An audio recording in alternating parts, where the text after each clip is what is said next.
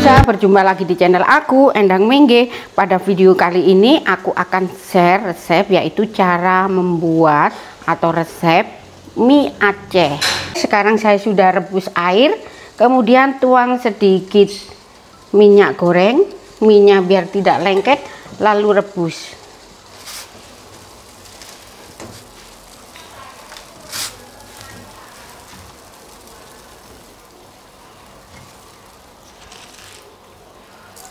Oke, rebus sampai lunak.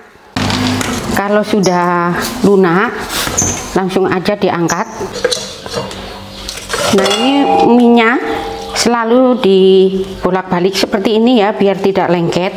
Tetapi kalau untuk acara hajatan atau memasak mie dengan jumlah yang sangat besar, lebih baik direndam lalu dikukus. Videonya pernah saya buatkan bisa disimak bisa dibuka link yang saya sertakan di kolom deskripsi. Nah bahan utamanya untuk membuat mie Aceh tentu saja mie. Ini yang baru saja saya rebus tadi. Ini sekarang sudah dingin dan ini hasilnya mawur tidak lengket satu sama lain. Oke semua resep ini sudah saya tulis di kolom deskripsi.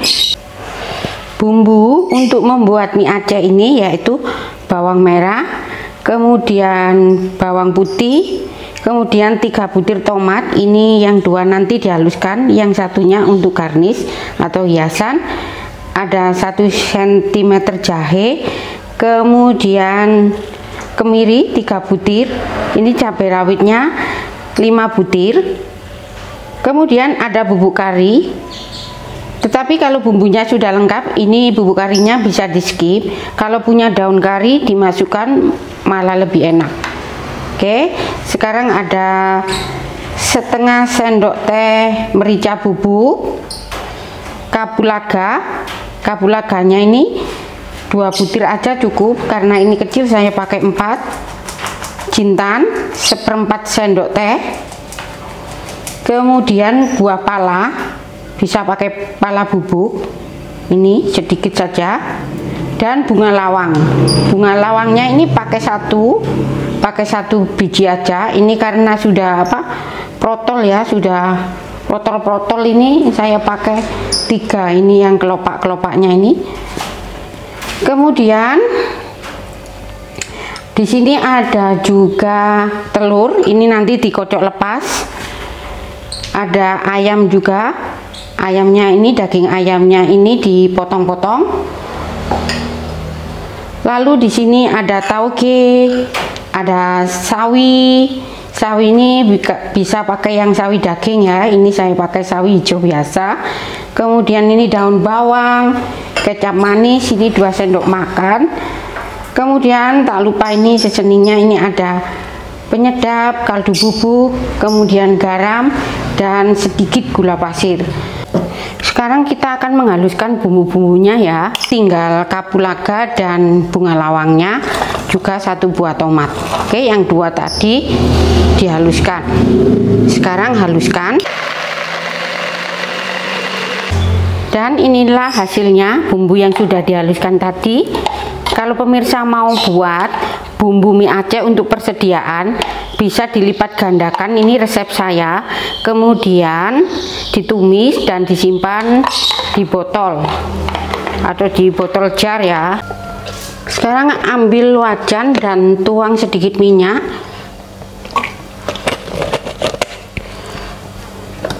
Lalu masukkan bumbunya yang sudah dihaluskan tadi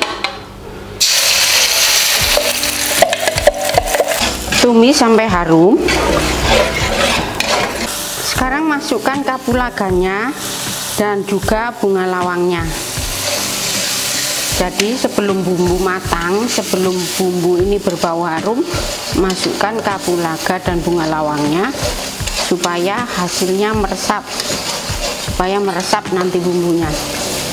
Tercampur rata sekarang tepikan dahulu bumbunya jika minyaknya sudah bening. Lalu masukkan telurnya digoreng di tepinya seperti ini.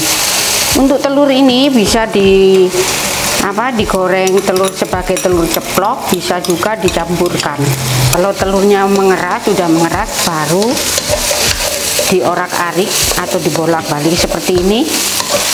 Seperti membuat telur orak-arik lalu sisihkan dahulu ini kalau wajannya pakai wajan yang besi kemudian kompornya pakai high pressure. Persis sekali dengan abang yang dijual di pinggir jalan atau di restoran-restoran itu. Lalu masukkan daging ayamnya.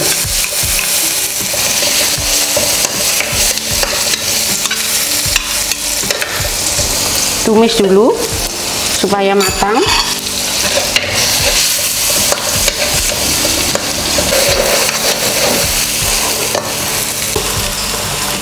lalu masukkan kecap manisnya. Jadi sekalian dimasukkan. Masukkan juga gula pasir, garam, kaldu bubuk dan penyedap.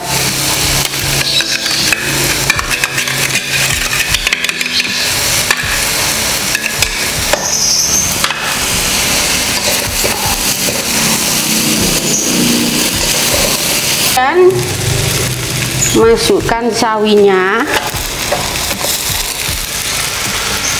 juga daun bawangnya dan juga tauge-nya.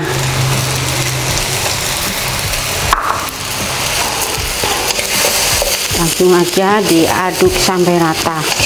Ini memang kalau sawi tauge itu harus dimasukkan belakangan supaya nanti tidak lembek dan sawinya itu tidak berubah warnanya ya.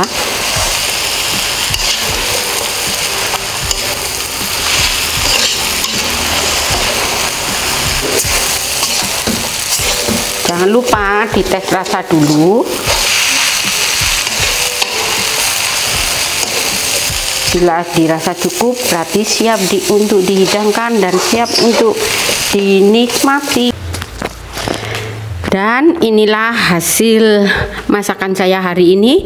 Rasanya sangat enak sekali dan recommended untuk dijual Oke ya, sampai di sini video saya. Jangan lupa dukungannya dengan klik tombol subscribe, like, comment, share, dan juga jangan lupa tekan tombol loncengnya supaya kalau saya upload video terbaru, maka pemirsa lah yang menerima pemberitahuan pertama dari channel Endang Mengge. Terima kasih, selamat mencoba.